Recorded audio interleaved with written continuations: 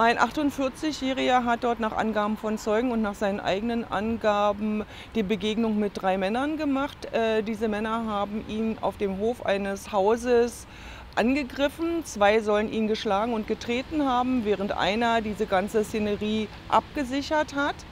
Und der 48-Jährige hat dabei Gesichtsverletzungen erlitten und wurde durch Rettungskräfte in ein Krankenhaus gebracht.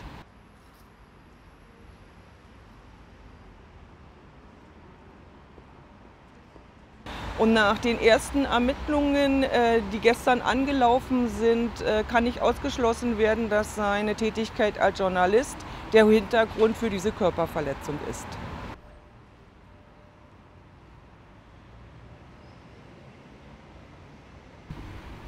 Die Ermittlungen wurden äh, von einem Kommissariat des polizeilichen Staatsschutzes übernommen, äh, weil der Geschlagene auch gesagt hat, dass seine politische Tätigkeit bzw. seine journalistische, schrägstrich politische Tätigkeit möglicherweise der Hintergrund für diesen Angriff sein soll.